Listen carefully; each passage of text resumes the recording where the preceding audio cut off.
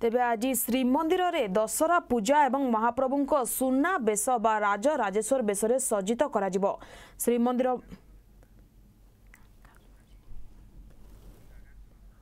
ତେବେ ଦୀର୍ଘ ପଚିଶ ବର୍ଷର ଅପେକ୍ଷା ପରେ ଶ୍ରୀମନ୍ଦିରରେ ଦୁର୍ଲଭ ନାଗାର୍ଜୁନ ବେଶରେ ସଜେଇ ହେବେ ଶ୍ରୀଜୀଉ। ମସ୍ତକରେ ହାଣ୍ଡିଆ ହାତରେ ଛୁରୀ କଟାରୀ ଏବଂ ଶ୍ରୀମୁଖରେ ଲମ୍ବା ଦାଢ଼ି ଭଳି ଅନନ୍ୟ ଏବଂ ଅପୂର୍ବ ନାଗ ରୂପରେ ଦର୍ଶନ ଦେବେ ମହାବାହୁ। ଏ ବର୍ଷ ପଞ୍ଚକ ପାଞ୍ଚ ଦିନ ବଦଳରେ ଛଅ ଦିନ ପଡ଼ୁଥିବାରୁ ମହାପ୍ରଭୁଙ୍କ ନାଗ ବେଶ ଲାଗି ମାସକ ପୂର୍ବରୁ ଆରମ୍ଭ ହୋଇଛି ପ୍ରସ୍ତୁତି। ଆଜି ବେଶ ଅନୁକୂଳ ଥିବାରୁ ତା ପୂର୍ବରୁ ସଂଗ୍ରହ ସରିଛି ଏ ସବୁ ଭଳିକି ଭଳି ସାମଗ୍ରୀ। ସନ୍ତରା ପଟ ସୋଲ ଏବଂ ବେତ ଆଦି ଦ୍ରବ୍ୟରେ ତିଆରି ହେବ ନାଗାର୍ଜୁନ ବେଶ ଲାଗି ସାଜ ଓ ସରଞ୍ଜାମ।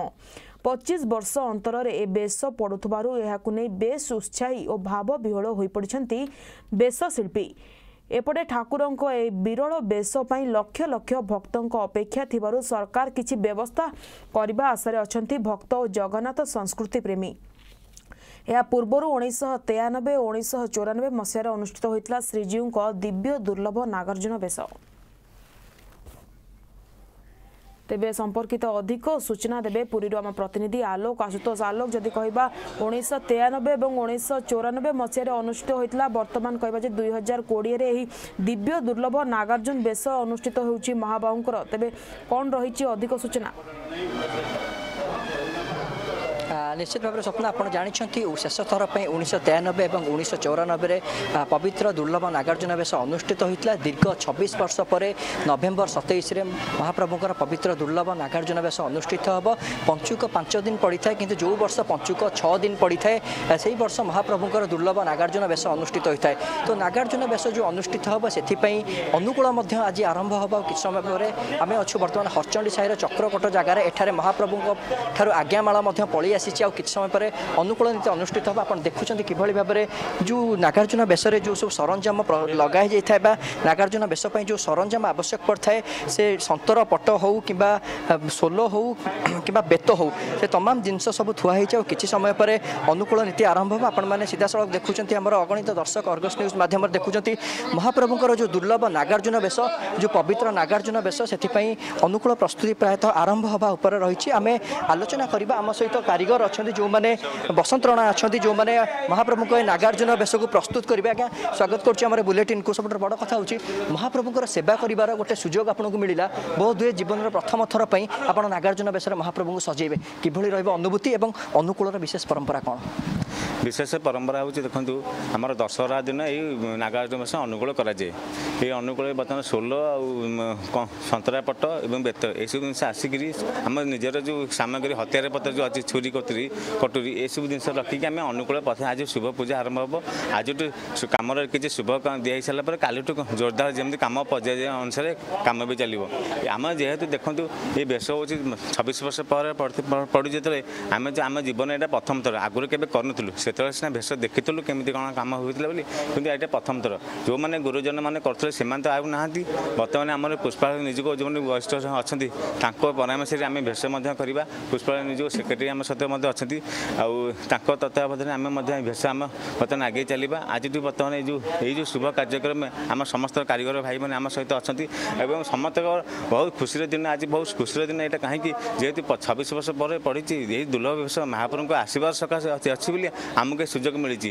ଆଗକୁ ଆମେ ବଞ୍ଚିପାରିବେ କି ମରିବା ସେ କହିପାରିବେନି। କିନ୍ତୁ ଏଇ ବର୍ଷ ଯାହା ବି ଆମକୁ ଭେଷ ପଡ଼ିଛି ଆମେ ସୁରୁଖୁରୁରେ ମହାପ୍ରଭୁଙ୍କ କଥା ହେଉଛି ଆପଣ ଯେଉଁ କଥା କହୁଥିଲେ ପ୍ରଶିକ୍ଷଣ ଆପଣ ଯେତେବେଳେ ଛୋଟ ପିଲା ଥିଲେ ବା ଆପଣଙ୍କର ଯୁବକ ଅବସ୍ଥା ଥିଲା ସେତେବେଳେ ଆପଣ ପୂର୍ବପୁରୁଷଙ୍କଠୁ ପ୍ରଶିକ୍ଷଣ ନେଇଥିଲେ। ଆଜି ସେଇ ବିଶେଷ ମୁହୂର୍ତ୍ତ ଆଜ୍ଞା ପଳେଇ ଆସିଲା। ମନରେ କେତେ ଆଧ୍ୟାତ୍ମିକ ଭାବନା ଅଛି? ମହାପ୍ରଭୁଙ୍କ ଆଶୀର୍ବାଦ ତ ନିଶ୍ଚିତ ରହିଥିବ।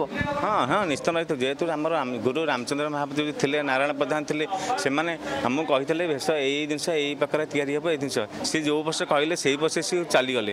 କିନ୍ତୁ ଯାହା ହଉ ତାଙ୍କର ଆଶୀର୍ବାଦ ଅଛି ଆଉ ଭଗବାନଙ୍କୁ ପ୍ରଥମ ହେଉଛି ଜଗନ୍ନାଥଙ୍କ ଆଶୀର୍ବାଦ ଅଛି ବୋଲି ଆମେ ଏଇ ଦୁର୍ଲଭ ବେଶ କରିବାକୁ ସୁଯୋଗ ମିଳିଛି। ପୁରୀରେ ତ ବହୁତ ଶହ ଶହ କାରିଗର ଅଛନ୍ତି।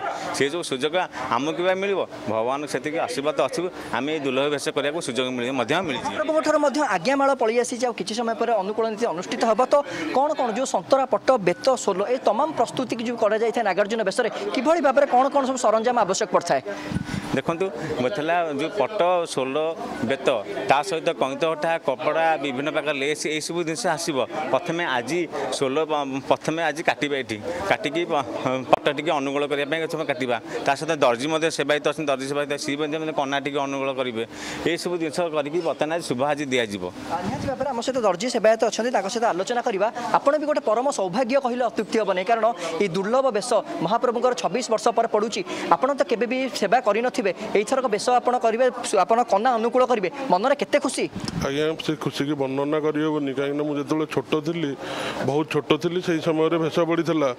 ଆଉ ମୁଁ ବାବାଙ୍କୁ କହିଲି ବାବା ମୁଁ ଟିକେ ଦେଖିବାକୁ ଯିବି। ସେଇ ସମୟରେ ଏତେ ଗହଳି ଥିଲା ଯେ ବାବା କହିଲେ ଏତେ ଗହଳି ସେ ଜାଗାରେ ତୁ ଯାଇପାରିବୁନୁ। ମୋ ମନ ବହୁତ ଦୁଃଖ ଥିଲା ସେ ପିଲାବେଳୁ। ଆଉ ଆଜି ସେ ଦୁଃଖ ମୋର ଦୂର ହେବ।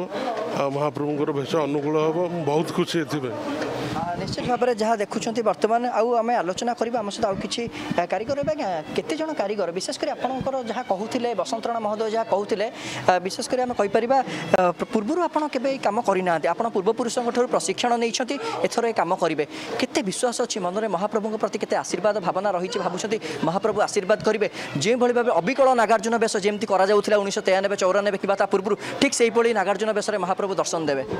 ଜୟ ଜଗନ୍ନାଥ ବହୁତ ଖୁସି ଲାଗୁଛି। ସେଇଟା ତ ଆମର କିଛି ଭାଗ୍ୟ ନା ଆମେ କେଉଁ ଜନ୍ମରେ କ'ଣ କରିଥିଲେ ମହାପ୍ରଭୁ କରୁଛେ କେବେ ଦେଖିନୁ ଏଇ ଭେଷ। ପ୍ରଥମ ଥର ଅନୁଭୂତି କରୁଛୁ ଯାହା ମହାପ୍ରଭୁଙ୍କର ଇଏ ଇଚ୍ଛା ଥାଉ ସେଇଆ କରିବେ ମହାପ୍ରଭୁ କରିବେ ଆମେ ଆମ କେବଳ କର୍ମ କର୍ମ କରିଚାଲିଥାଉ କେତେ ଜଣ କାରିଗର ସମୁଦାୟ ଲାଗିବେ ଏଠି? ଆମର ଏଠି ମା- ଛଅ ଜଣ କାରିଗର ଲାଗନ୍ତି ଜଣେ ଦର୍ଜି କାରିଗର ଚାରି ପାଞ୍ଚ ଜଣ ସୋଲୋ କାରିଗର। ଆଉ ଏଇ ଉଁ, କାମ ଆମର ଏଇ ଉଁ, ଦଶହରା ଦିନଠୁ ଅନୁକୂଳ ହୁଏ। ବହୁତ ଖୁସି ଲାଗୁଛି କେବେ ଆମେ ଭାବିନଥିଲୁ ଏ କାମ କରିବୁ ବୋଲି। ଆମେ କେବେ ଦେଖିନୁ ଏ ବେଶ କେବେ।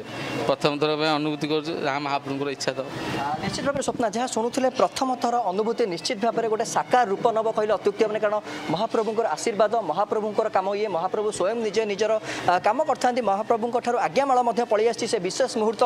ଆଉ କିଛି ସମୟ ପରେ ଅନୁଷ୍ଠିତ ହେବ ସ୍ୱପ୍ନ ଆପଣ ଦେଖୁଛନ୍ତି ଆମେ ଅଛୁ ହରଚଣ୍ଡୀ ସାହି ଚକ୍ରକୋଟ ଜାଗାରେ ଯେଉଁଠାରେ କି ଏକ ମାସ ପୂର୍ବରୁ ଯେହେତୁ ନଭେମ୍ବର ସତେଇଶରେ ମହାପ୍ରଭୁଙ୍କ ପବିତ୍ର ଦୁର୍ଲଭ ନାଗାର୍ଜୁନ ବେଶ ପଡ଼ୁଛି ତାର ଠିକ୍ ଏକ ମାସ ପୂର୍ବରୁ ଆଜି ଅନୁକୂଳ ହେବ ଏବଂ କାଲିଠାରୁ ଯୁଦ୍ଧକାଳୀନ ଭିତରେ ମହାପ୍ରଭୁଙ୍କର ଯେଉଁ ନାଗାର୍ଜୁନ ବେଶ ପାଇଁ କାମ ସବୁ ପର୍ଯ୍ୟାୟ ପର୍ଯ୍ୟାୟକ୍ରମେ ଜାରି ରହିବ। ନିଶ୍ଚିତ ଭାବରେ ଇଏ ଗୋଟେ ଅନନ୍ୟ ମୁହୂର୍ତ୍ତ ସ୍ୱପ୍ନ। ଅଗଣିତ ଦର୍ଶକ ଅର୍ଗସ୍ ନ୍ୟୁଜ୍ ମାଧ୍ୟମରେ ମଧ୍ୟ ଦେଖୁଛନ୍ତି। କହିପାରିବେ ଅନନ୍ୟ ମୁହୂର୍ତ୍ତ। ଏହି ପବିତ୍ର ମୁହୂର୍ତ୍ତକୁ ସମସ୍ତେ ଅପେକ୍ଷା କରିଥିଲେ ସାଢ଼େ ଚାରି କୋଟି ଓଡ଼ିଆଙ୍କ ସମେତ ଜଗନ୍ନାଥ ପ୍ରେମୀ ଯେଉଁମାନେ ରହିଛନ୍ତି ସେମାନେ ମଧ୍ୟ ଅପେକ୍ଷା କରିଥିଲେ ପବିତ୍ର ଦୁର୍ଲଭ ନାଗାର୍ଜୁନ ବେଶର ପ୍ରସ୍ତୁତି। ନାଗାର୍ଜୁନ ବେଶର ଅନୁକୂଳ। ନିହାତି ଭାବରେ ସ୍ୱପ୍ନ ସମସ୍ତଙ୍କ ପାଇଁ ଗୋଟେ ଖୁସିର ଖବର ଏବଂ ଦୀର୍ଘ ସତେଇଶ ବର୍ଷ ପରେ ଛବିଶ ବର୍ଷ ପରେ ମହାପ୍ରଭୁଙ୍କ ଦୁର୍ଲଭ ନାଗାର୍ଜୁନ ବେଶ ମଧ୍ୟ ଶ୍ରୀମନ୍ଦିର ଭିତରେ ଅନୁଷ୍ଠିତ ହେବ। ସ୍ୱପ୍ନା। ଭାବେ ଆଲୋକ ଯଦି କହିବା ଏହା ଏକ ଅନନ୍ୟ ବେଶ କାହିଁକି ନା ପଚିଶ ଦୀର୍ଘ ପଚିଶ ବର୍ଷ ପରେ ବ- ଯାହା ପୁଣି ଥରେ ଅନୁଷ୍ଠିତ ହେଉଛି ନାଗାର୍ଜୁନ ବେଶ ଯଦି କହିବା ଉଣେଇଶହ ତେୟାନବେ ଏବଂ ଉଣେଇଶହ ଚଉରାନବେ ମ- ମସିହାରେ ଅନୁଷ୍ଠିତ ହୋଇଥିଲା ଶ୍ରୀଜୀଉଙ୍କ ଦିବ୍ୟ ଦୁର୍ଲଭ ନାଗାର୍ଜୁନ ଆ, ବେଶ ପୁଣି ଥରେ ଯଦି କହିବା ଦୁଇ ହଜାର କୋଡ଼ିଏ ମସିହାରେ ମହାବାହୁଙ୍କ ପୁଣି ଯଦି କହିବା ନାଗାର୍ଜୁନ ବେଶରେ ସୁସଜ୍ଜିତ କରାଯିବ। ଧନ୍ୟବାଦ ଆଲୋକ ଆପଣଙ୍କ ସମସ୍ତ ଅପଡେଟ୍ ପାଇଁ।